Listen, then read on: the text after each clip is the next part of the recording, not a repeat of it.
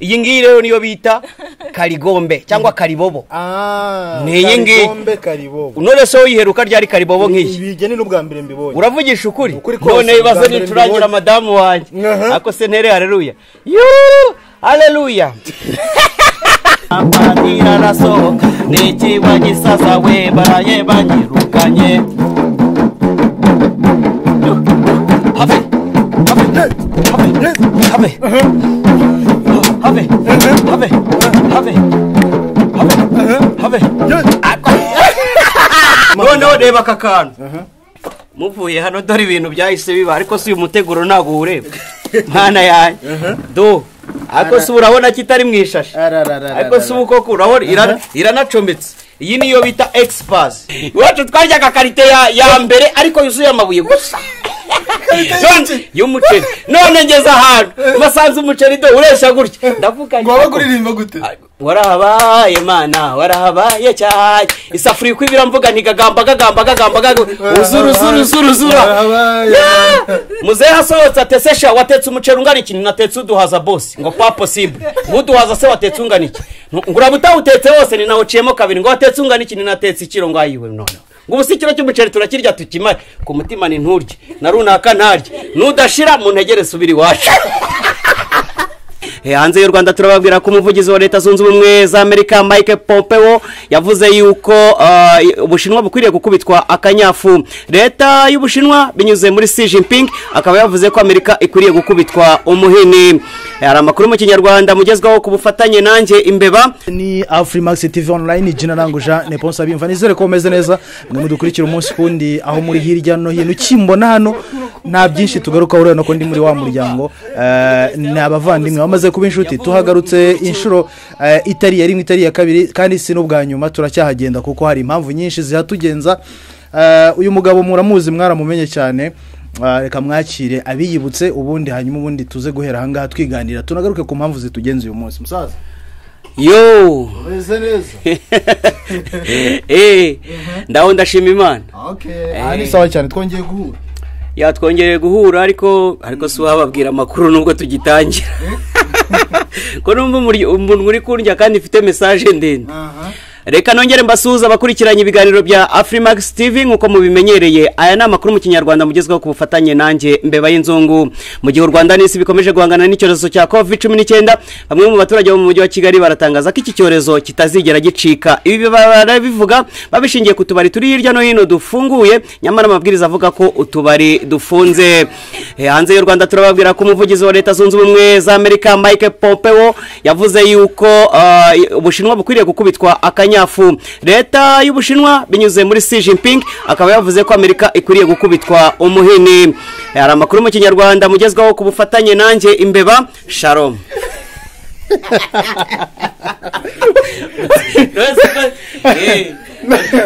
Eh, Simba- ngo urumva?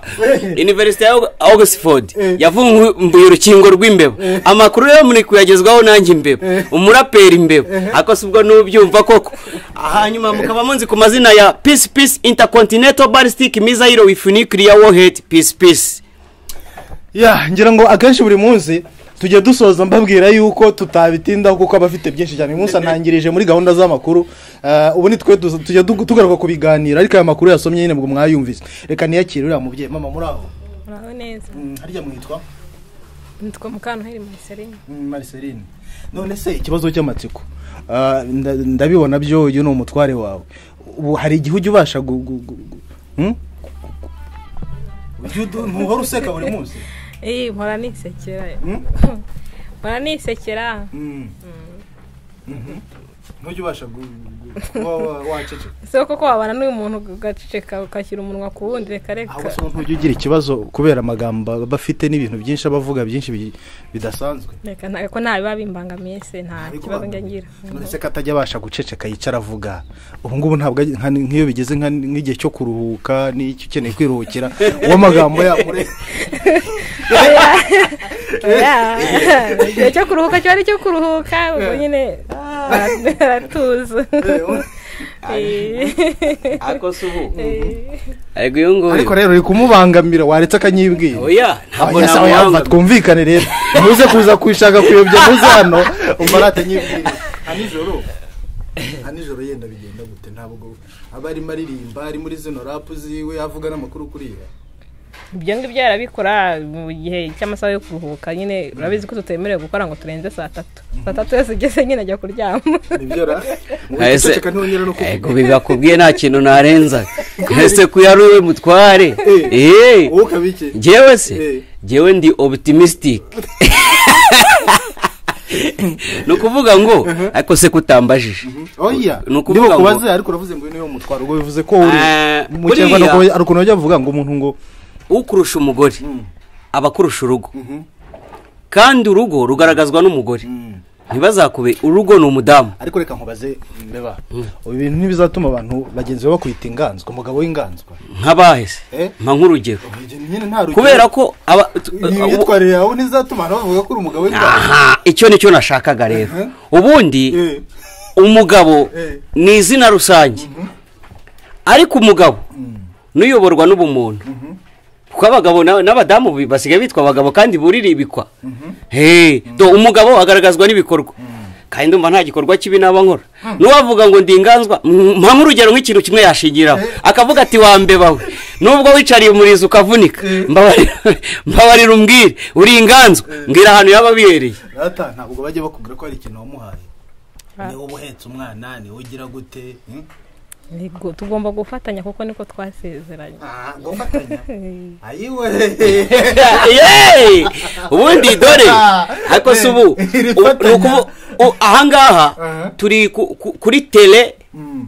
ah, tele sentetike realiste Mhm. everything. Mhm. ubibakubwiye Mhm. ni byo. None se ubwo shyira mu gaciro. Hariya hari ikirayi gikeneye guhatwa. Umwana ntabwo wamunaga mu mugongo akagihata. Ubu ukuntu wambaye n'agasengeri wari umukora ikira wasanga wari utetse. Oya? Ntuse ureba ahantu ni ukuvuga ngo akazi ka akazi uyu munsi nta kazi gahari. Ahubwo muzi igihe nari mfite andi makuru menshi cyane. Ngomba kubakubita mukavuga muti iyi mbeba yazamutse. Mbeba ndabizi ibyawe byaza kuyaza kutwirira reka nigarukire. Ejo bundi ubwo duheruka hano.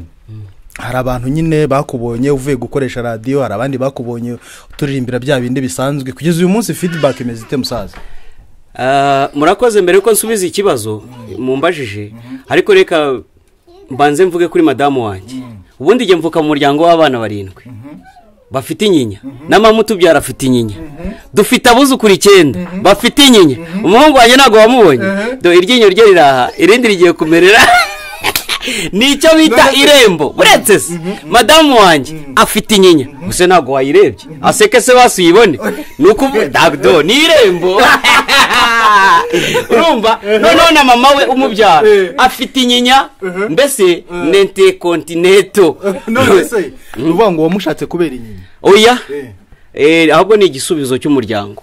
Ntabwo nkumvise neza. Ntabwo ubusuri bunyumve mana yanjye. Ni ukuvuga ngo nawe reba mu bihumbi birenga amamiliyari y'abakobwa bari ku isi.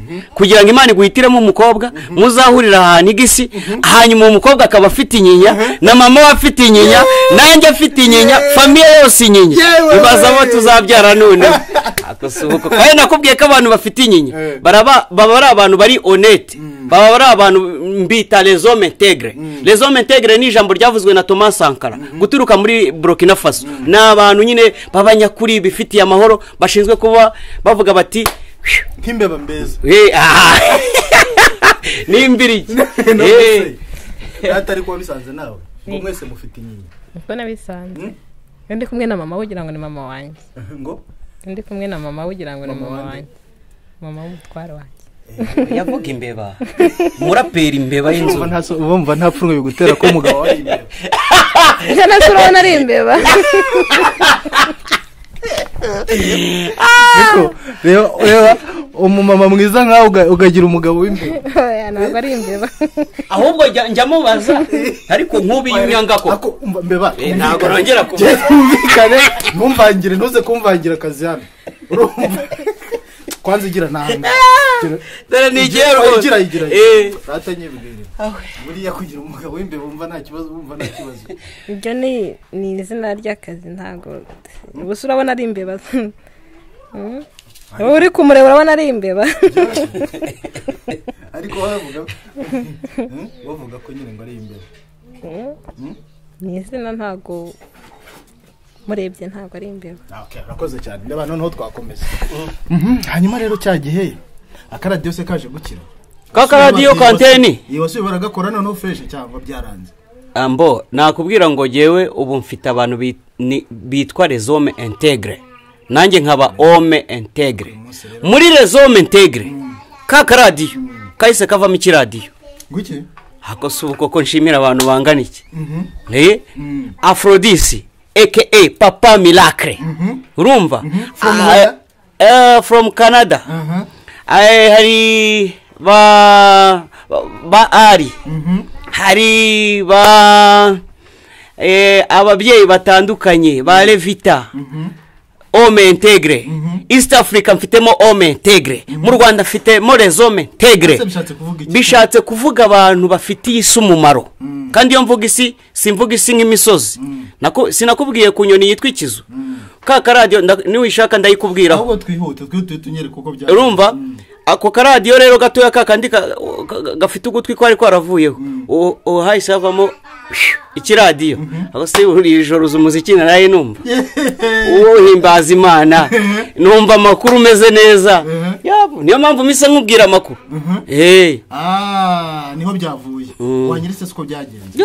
Ako si ubwoko ibyo Ese wakwi- ugiye he? reka nyi Ugiye- oya mbabarira. Wagiye uba tayari, man. Waba Wagiye uba tayari. Nyine yewe ibyanjye ni fasita fasita kugira ngo nkwereke imirimo y'imana.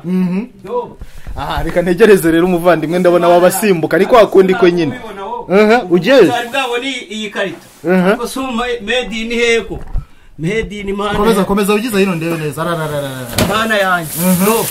Ndebera iki kintu? Ariko si uvanyemo aka kantu koko? Eh banza umpereze banza umpereze akira nawe ndebera iyi ni ya ariko si urabona idafite ugutwi.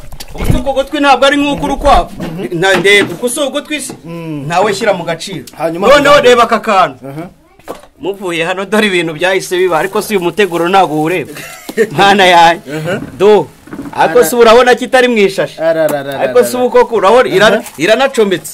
Iyi niyo bita egisipasi ariko ubwo si izo ni bafure zingahe? Ubwo se se eshatu? Do birebe neza. Mana yanjye. Do ariko si ibintu biza binafunze bene aka kageni. Ndebera rebera noneho agashya rero. Urabizi ko imbeba zirabura ubundi ntabwo zikunze kutwegera. Ariko do ibintu byose birirabura. Ariko si ubu ntabwo ureba. Ndashimira ome integire yagiye- yakoze ibi bintu mureba hano. Ubu ntabwo ugisubira rero ku isoko ukoresha kariya. Ariko si iyi radiyo we ntabwo uyireba koko. Wowe ushyize mu gaciro. Ntabwo hano yituye hasi. Ni ugusaza noneho ikagenda ibandura. Ariko reba anteni. Wese none reba re- reba reba. Ubu ndi kumva amakuru kuri radiyo rwanda nitwa no stress entertainment. Noneho wibaze noneho. Wibaze freestyle mfite noneho wibaze indirimbo mfite nk'umuraperi wa mbere mu gihugu usigaye. Noneho mbabarira umbwire. Ubuse ntabwo ubibona imbeba ni neza cyane ibi bintu kabisa. Si neza se? Ni ibi rero biba bivuze. Ubu se iyi nkuru uyu muvandimwe wanze gukora akaradiyo yarayimenye? Iyi nkuru se mu ijoro barayizi ndi kumushinganisha ndi kumushinganisha. Urumva? Ariko wongera usubizemo uko byari bimeze reka nongere nsubizemo ariko se wabibonye ko n'imigozi ikiri mishyashya? Mana yanjye. Urabona ko rero ibyacu ome integre karifiye wimvuga ome integre iryo zina nawe uraryumva neza. Kabisa nawe se nkubeshyi dore byo- byose biba bipanzemo gutya. Kandi ibintu bibone gutya? Aba bari kutwaturiraho gucuruza. Eh, ubu tuba tugiye kujya mu bucuruzi watangiwe none se utagiye radiyo iyi radiyo igiye guhita uyigurisha. Ugurisha iki? Hoye ibi biba bisigura yuko mu minsi iri imbere ugomba kujya kurangura mu bushinwa. Ukazaza gucuruza mu mujyi hariya muri za shiki na za he? Muri shampiyoni mo hariya uzunguza. Izi ndo turazifite. Do ako si ubu ntabwo urureba uru hanyuma rero uraburikiye aho gatoya. Do. Mu minsi ishize andi makuru namenye ngo hari ukuntu ngo ujya wicara ngo hano ngo iyo wizihiwe neza ngo ugacurangira ngo hmm, ugacurangira umufasha wawe. Ndamucurangira. Kumucurangira gusa se.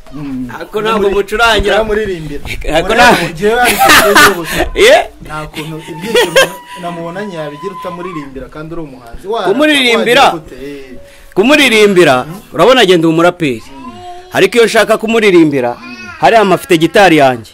Hmm, mfite gitari yanjye hariya. Gitari iri entikontineto ni ahandi hantu iyo gitari baba bantu bakurikiranye afurimakisi kereka babibayemo. Ariko iyo gitari nta hantu urayibona. Iyi iyi gitari rero ihora yesitaye ahantu hamwe. Ku buryo yenda nka si ngombwa kandi ngo muririmbe cyangwa se muririmbire indirimbo z'imitoma n'ibiki Ngewe mba shaka urabizi nge ndi optimistic mba shaka ko abantu baseka. Icyo gihe nshobora gucuranga akantu gatoya. Agaseka agahita yiyongerera iminsi yo kubaho. Tuzamuka. Ayo muba muzamuka mugira ariko tuzamuka rero si ibyakozwe n'intumwa sinakubwiye ko yazamutse bamureba. Yesu ibyakozwe n'intumwa arimo icyenda. Ngo azamuka bamureba. Igicu kiramubakingiriza arangije aravuga ati umva niba ari uko bimeze rero urabizi ko nawe ikuzimu yamaze iminsi ingahe? Itatu. Tuhita tuzamuka. ariko se singiriya ariko se ubu ntabwo uri kuyibona. Ntabwo uri kuyibona. Mpereza ubu boro mbwambare hano. Ubu ntabwo uyibona. Singiyi. Eh ni iyi ngiyi. Ni- umbwire ibi bintu wakoze aha ni ibiki? Hmm? ibintu wakoze aha ni ibiki? Iyi ni gitari intercontinental. Oya intercontinental si bahangaha? Yamaye nkawe none si ubutaka. None ni ukuvuga ngo umuntu ava mu butaka akarya ibivuye mu butaka. Biga- na- na byo ibyo ashyize mu kanwa bikagwa hasi bigasubira mu butaka. filozofi nyinshi na myibwirire ibi ngibi. umva nyine nkubwire. Ibyo by'ubutaka Ki- kino ureba iyi ngiyi ureba. Iyi yifate nka gitari. Iki ngiki ni icyo bita iyi ni imirya. Urumva?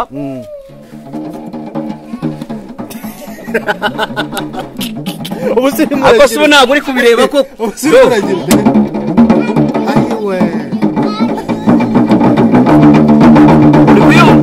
uri kuyumva umva umurya. Umva. Dore hano hano ureba. Ahangaha ubu iri ni ibanga. Yifate nk'ahashi cyangwa se kiriya gihashi cya gitari. Iyi ngiyi rero niyo bita karigombe cyangwa karibobo. Ah, Ni iyi ngiyi. None se wiheruka ryari karibobo nk'iyi uravugisha ukuri? None niturangira mbibonye. madamu wanjye. Ako se ntere hareruya yuu hareruya ndabona amabuye hari ibati. Ubundi reka nkubwire. Ndi umuraperi uri optimistic. Mba ngomba kuzana udushya. Iyi ni gitari. Uyu ni umuryo. Hano naho ndegera. Noneho gucuranga rero uzi ko bagenda bagira gutya? Ngewe nkurura hano nkagarura hano. Nkakurura hano nkagarura hano. Ubwo mba- ndi muri byo bita? Mu byo bita gute? Dore. Urabyibagiwe. Reba hano. Do re mi fa so la si do do si la fo fa mi re. Nose ntabwo ubyumvise mbabarira umbi ntabwo ubyumvise ni ukuvuga ngo dore. Ehe ongera twumve ehe. Do. Do do re mi fa so la si do. Do si la so fa mi re do ntabwo uyumvise baze baze fa hoteli siride ni ukuvuga ngo baze fa hoteli siride Eh. Ni ukuvuga ngo iyi ni gitari Eh. ahubwo mbaza ngo uracuranga hihe ndirimbo? Ncuranga Oya, indi ba- banza unkurikiranira rero amajwi nanone neza nyumve neza ariko biri seri atari biriya bya Dore. umbeshabeshya ugenda ugira kuri uyu naririmba nyine kuri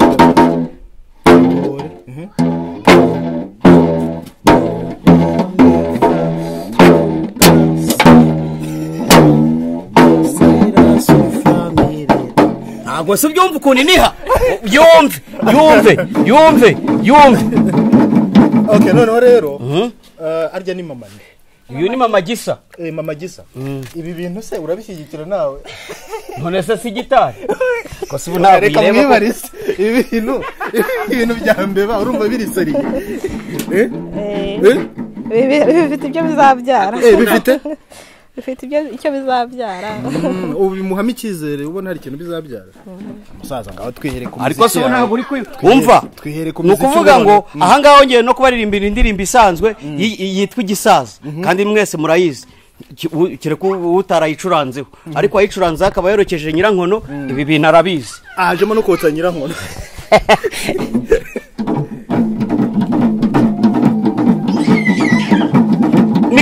rurales.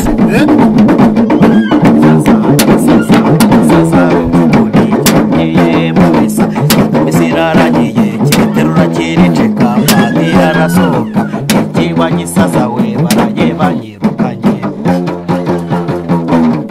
ariko mwajyaniye aho ngaho none se ubwo nta kintu ntabwo se ubwo nta kintu waririmbaga gahoro urumva njyewe nakurikiye nyine ukuntu nyine ucuranga nimumfashe nanjye Ntabwo ndi kumva Umva ukuntu indirimbo ivuga. Mm. igisaza igisaza rukukuri cyagiye mu misa. Gisangamo isi irarangiye kiriterura kiriceka kiriterura kirimena. Padiri arasohoka ni iki wa gisaza we? Baraye banyirukanye. Tanantarate si ubwo ntabwo byumva bari koko.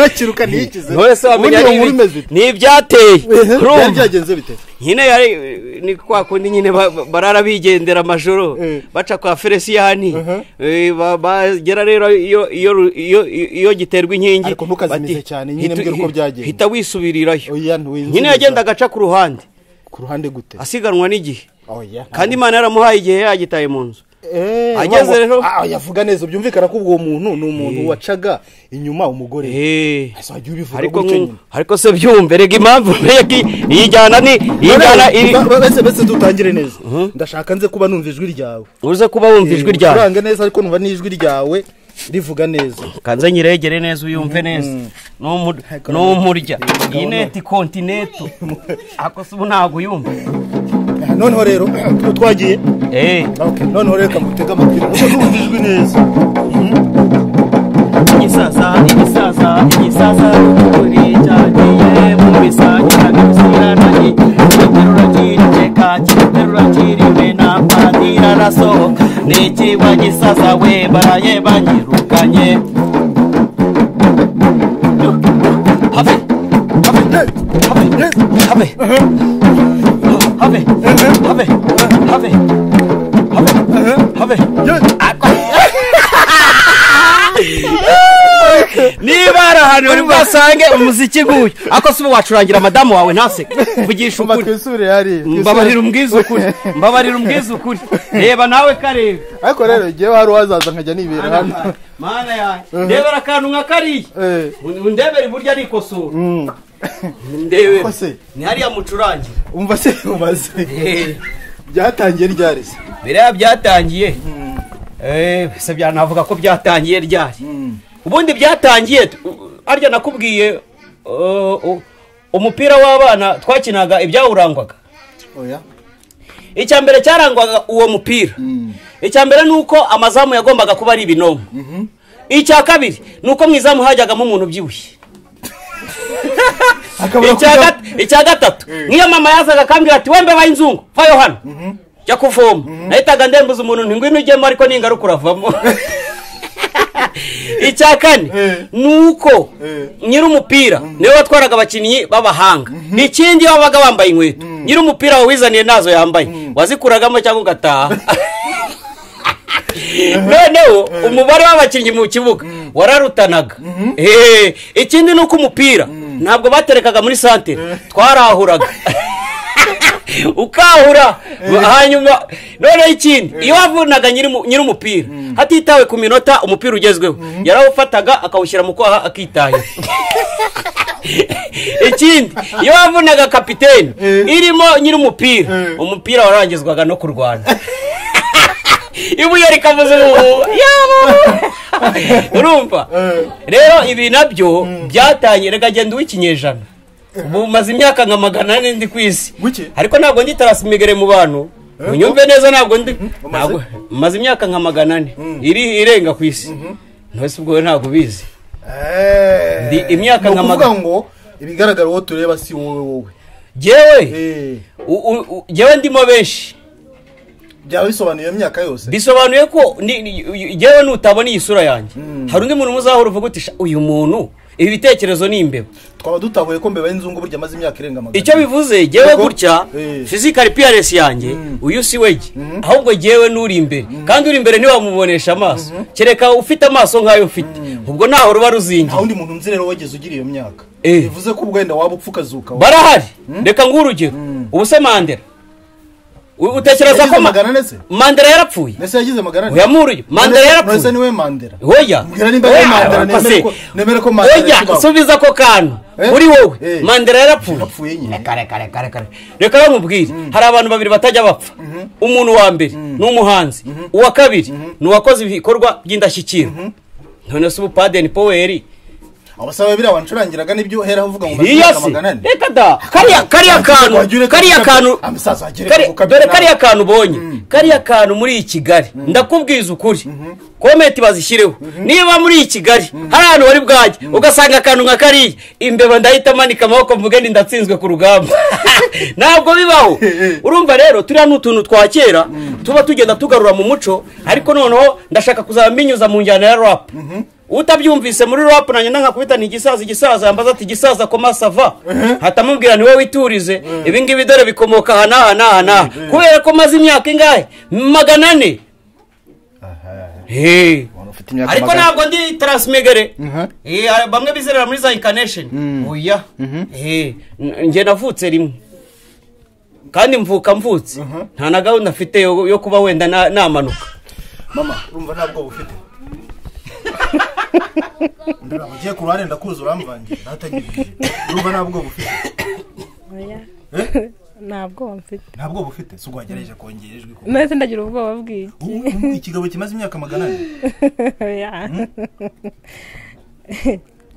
Oya. magana ane si urayifite mubaze ariko mubaze twumve nawe yakubwira njye yajya mbeshyere gahari Oya, nyine afite ukuntu abivuze wenda uko iyo myaka yifite ariko ngewe niyo murebye mu magana ane ntayo ntago mbeshya mama gisa aravuze ngo burya icya mbere nakubwiye yuko yesu tuvukana turavukana ubu uyu muntu uri kureba hano. Ni yesu w'umunyarwanda. Nukunda mbeba y'inzungu uzaba ukunze yesu. Niwanga mbeba y'inzungu ntuzakunda yesu wundi utabonye. Eh, n'imana ni uko ikibazo reka ntujye unsubiza ibyo mubajije Reka mbikubwire ubyumve neza. ngo araguhinyuje avuze ko ubeshya utagifite imyaka magana Oya. wisunzariramo yesu. Yesu imyaka magana ane. dore imyaka magana ane. Nuko iyo nkubwira agewe inshuro nyinshi. Mpera mu gihumbi magana ane. Urumva? Mu kinyejana cya cumi na kane imbeba batubeshyeye ko aritwe twakwirakwije ubushita. Wari uhari. Ntabwo ubizi. Ubushita buva mu bushinwa bugafata uburayi bwose. Imbeba si twe babeshyeye yuko twakwirakwije ubushita. Hakaba abaraperi b'imbeba koko baduhora iki? Mana yanjye. Ntabwo ubizi. Naho mba mera ahubwo jya ubyumva. Ubikurure ubyumve. ntujye unsubiza ibyo nkubajije. Nicyo kibazo cyawe wese byumve nawe. Hmm? ntujye umbwira. Uba wabisomye urumva. Oya! Ibyo iyo ni amateka ubushita bwaraje mu gihumbi na magana ane. Indwara z'ibyorezo zikomeye. Zagiye ziza zifata isi. Zi- zikayijegeza. Ubu se nkubwira ibicurane. Ibicurane gusa twe turwara. Ibicurane birimo amoko atatu. Hari ibyo bita hashi ane ni ibicurane biterwa n'ing- n'ingurube. Abarya akabenzi mwihangane. Nubwo ntarakarya ariko iyo nyuze ahantu bari kukarya ndavuga ni mana oya ntago nigeze n'ijya ingurube.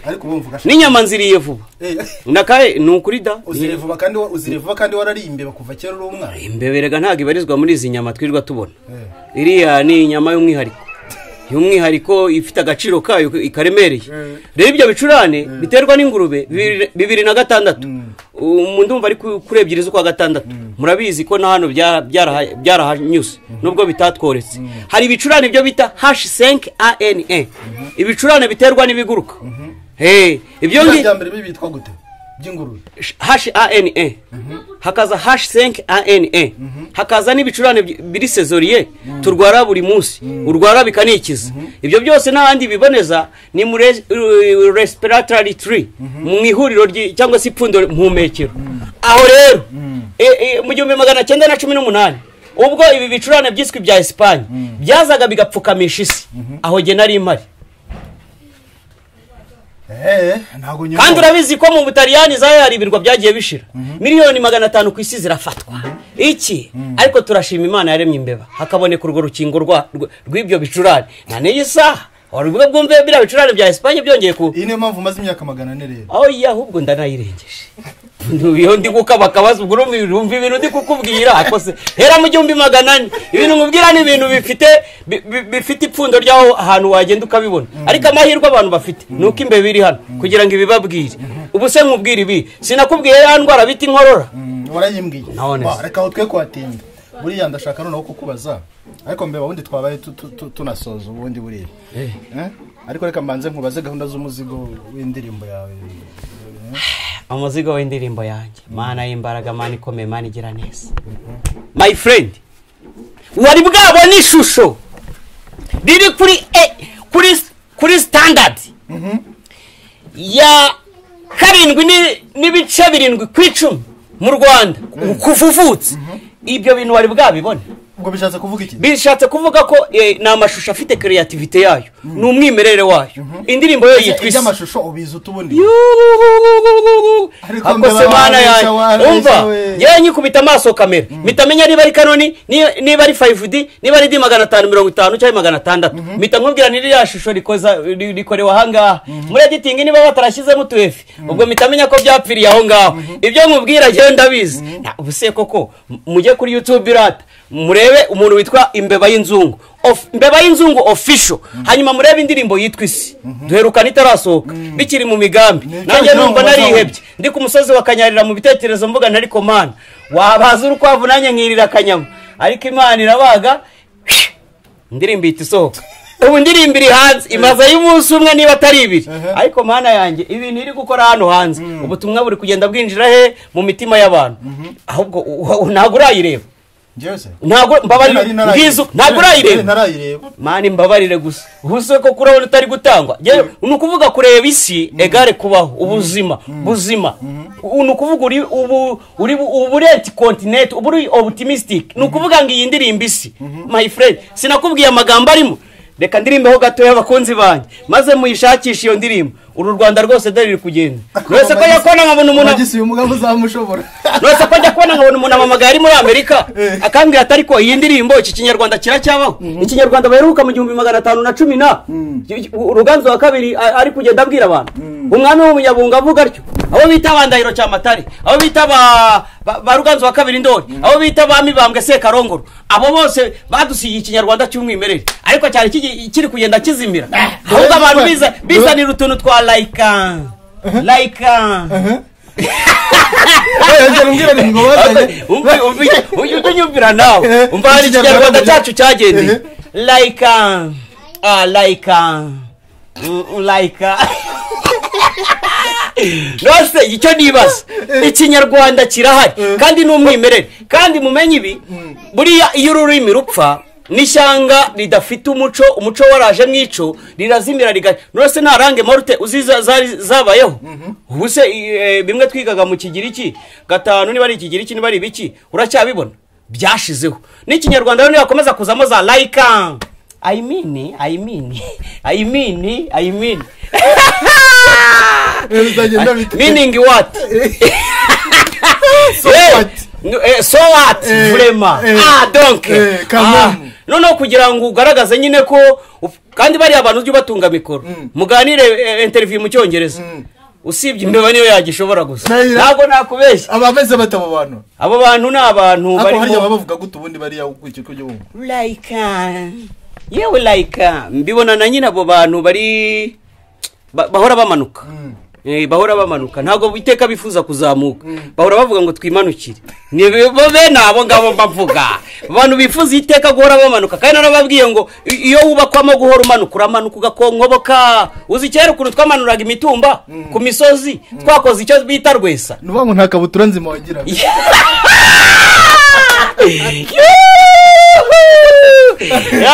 umegiye rwese aho arayigiye ni ukuri dore kamubwire cyakora ako kanya ni ukuvuga ngo wicaragaho hari uburyo umutumba wawe wateragamo igiti hanyuma ikabutura se yabaga ari ikanzu. Cyangwa igipira kirekire umupira se wa- umupira wabaga uhetse Ba- bakuguriraga ikabutura. Ariko ba- nta myenda suzi yaguraga icumi. Twajyaga tujya kuyiguraho bita busoro. Umwenda w'icumi. Ariko ugasanga ni- mwa- mwamwe muri babiri. Bakaza bakayisatura ba- bakabadoderamo udukabutura urumva rero za ndodo za kera ntabwo zari zifashe. Badodeshaga n'urushinge. Wicaraga ku mutumba wajombyemo igiti hariya ugashyiraho amaguru. Ukahita upepera uri ku musozi wo hakurya bati bayi uwo mwanya umutumba ukajya dushwanyagurika akabuno ukubukubukubuku wageraga mu rugo ikibuno cyajeho ketusi nawe ukavuga hehe mu gihe ugikandagira mu rugo bikaba bibaye intambara. Imyenda arayimaze. Kandi kiragiye kugira ngo uzabone amafaranga ugura umwenda. My friend ni twaryaga iwa- iwacu twaryaga inyama kuri noheli.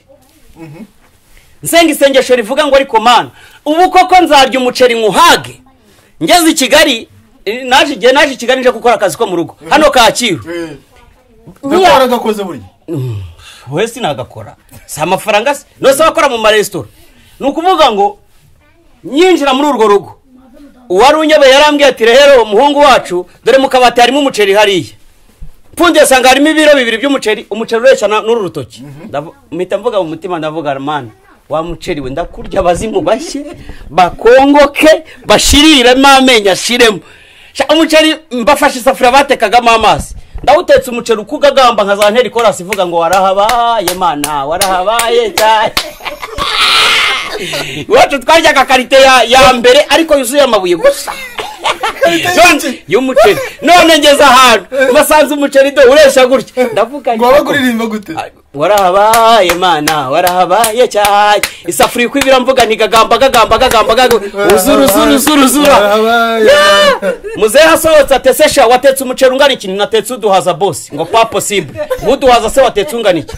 Ngo uraba utawutetse wose ni nawe uciyemo kabiri. Ngo watetse ungana iki? Ni natetse ikiro. Ngo ayiwe noneho ngo ubu si ikiro cy'umuceri turakirya tukimare ku mutima ni nturye. Na runaka ntarye. Nudashira mu ntegere subira iwacu.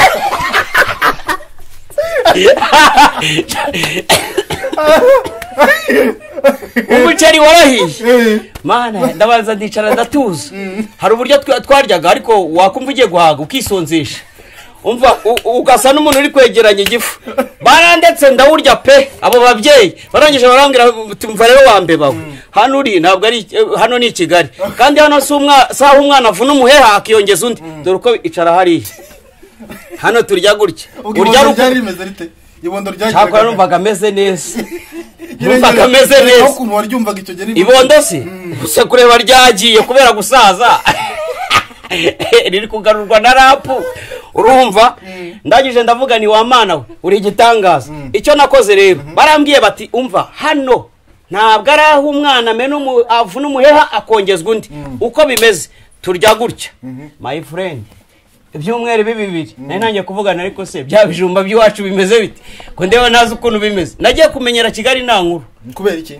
Kubera ubuzima bwabo butamenyereye. Icya mbere icyo gihe navuye mu cyaro nari nzi ko i kigali. Amafaranga bayatora ku muhanda.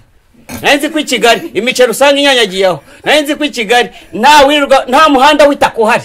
Numvaga mbese ni nk'uko wambwira ngo ngo ugiye ngo ngo heze ugiye canada cyangwa ugiye za dubayi mba numva nyine aho uhita wumva aho hantu hari ubundi hari abantu bose birukanyirayo Eh, ariko ngeze i kigali nsanga hari- hari ibitoki barahinga nk'uko duhinga. Nta kintu na kimwe usibye kuba nyirimo nk'isezerano ry'imana. Cya- udafite isezerano ry'imana. Abenshi bazisubirira mu ntara. Ariko turashima imana ko imbeba turi kugenda tuzenguruka ahantu hose. Imana ivuga iti bana banjye nimubeho mbongeje undi mwuka wa kabiri. Bomboni yanjye nihora icometse ku mazuru ibintu bimere neza. None nabasohoreye indirimbo yitwa isi. Ariko si waririmbaho gato. Urabyemerewe mana yanjye mumfashe kabisa. Reka mbivuge nanaciye bugufi. Mu rwego rwo kugira ngo twubahe n'abantu ba- n'aba- n'abakunzi b'imbeba y'inzungu. Kandi iki kiganiro cyaza kugera ku isi yose.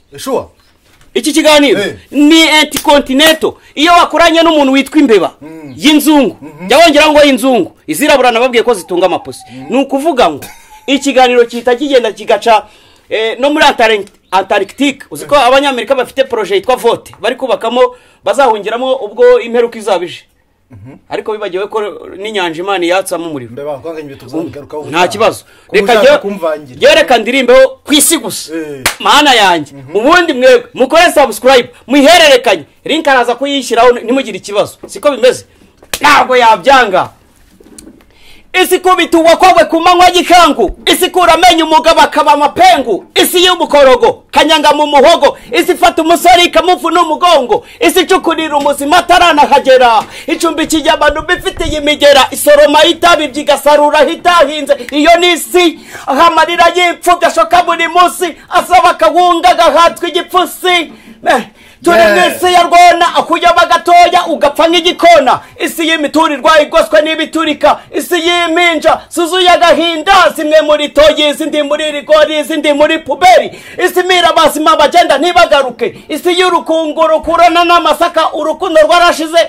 Kutamfasha. ntako ngaho. Nari mubwiye nyine ariko wamfashije ku gafurisitayiro byibura byibura nakome n'amashyi ako si uko ko mana yayo uyu mubyeyi. Mama hirwa koko. Namujye mundebera. Ako se kutamubajije murambagiza. Nazaga ameze ngo muraho nta nubwo arazi ko nzi kuvuga. Mbese nazaga namusangaga ku isoko ahantu yakoreraga. Nkaza. Nkamuhagarara iruhande nkamubwira nimero z'utu tuntu nitwo nkeneye hanyuma nkahita nimunyamunya azi ko na nguyu yari azi ko ntajya mvuga. Nibyo? Uko bimeze? Ubwo nk'amagambo ajyaga akubwira ukumva nyine ariyo yo ntayandi gusa mu buzima bwagira gahunda. Eh, mu buzima bwagira gahunda. No- ntabwo yari azi ko nzi kuvuga.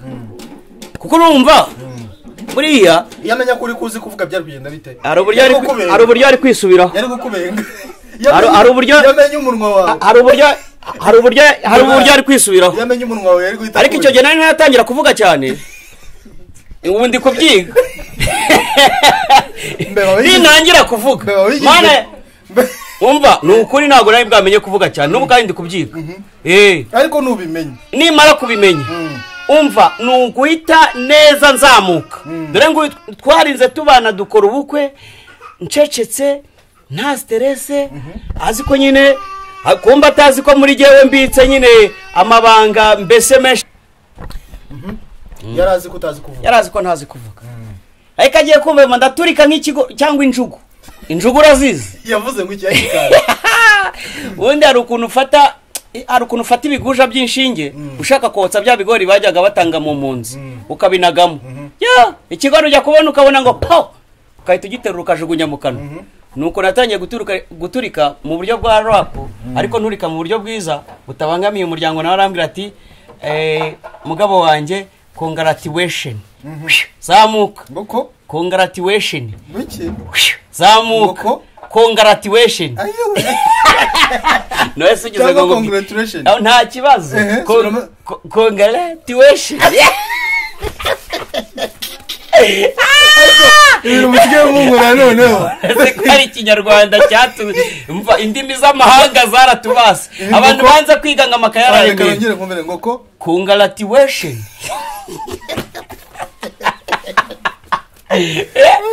ni ukuvuga ok twikomereze mu by'ukuri ndashimira afurimax kabisa. Mm, afurimax tv ni televiziyo nziza televiziyo nziza yagira ikuvana nawe yakugeza nk'ubu dore radiyo irabonetse njye kuzaba numva amakuru nta makaraza ntaki noneho ibaze ibintu bigiye kuza. Uzi ibi mizigo ngiye gusohora mu minsi iri imbere? Umva niba mu rwanda hari abakunzi ba rap ibyo nimuberekera imbeba.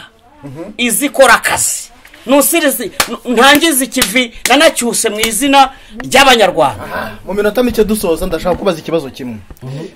Ubukene ni iki umuntu avuze umukene wumva iki? Ubukene? Ah mugabo iki kibazo mbajije rero kirakomeye. Ubundi iki kibazo cyakabajijwe byibura nk'umuyobozi wa beneri cyangwa se Eh. kikabazwa wenda ikigo cy'igihugu kibarurishamibare statisitike kurumva nibo babizi. Ariko nkanjye nk'imbeba. Y'inzungu umuraperi w'umunyarwanda. Reka nkubwire wenda uko mbyumva. Mm. Eh, na- navuga ngo poverty is a breathing one day at a time. Biki? poverty is a breathing one day at a time. Ubwo bivuze? ubukene ni igihe ubyutse mu gitondo ugihagarara ku muryango ukahita wayura ukareba mu kirere tayi "Waa!" ko bukeye buri bwire? Ko bwije se buri buke? Ariko ntumenye impamvu bwakeye. Kutamenya iyo mpamvu rero bivuze ngo ubwo ni ubukene. Icya kabiri baravuga ngo poverty is a losing a child to illness brought about by unclean water. Ubukene ni nko kugira umwana wawe uwo mwana akicwa n'amazi mabi kandi ayo mazi ariyo mukoresha. Amazi rero mvuga ntabwo ari aya ngaya dore amazi rero mvuga. Ejo bundi nta bakobwa babonye bane bari bari ku mbuga nkoranyambaga bambaye ubusa. Ariya ni amazi mabi. Banyweye. Cyangwa se bahawe. Ni ivomo bavomye habi bavoma hafi. Kandi bagombaga kuvoma kure. Ntabwo uri kubyumva? Eh, ubukene mvuga ujya ubona nyine hari ukuntu ibintu biba bitameze neza. Eh, bigenda byangirika byangirika byangirika byangirika. Mu ndirimbo zimwe na zimwe urazizi. Ukaza kuri tera ugasanga ni induru gusa. Nubwo ni ubukene. Ubukene bwa gatatu baravuga ngo poverty is powerlessness block of representation and freedom.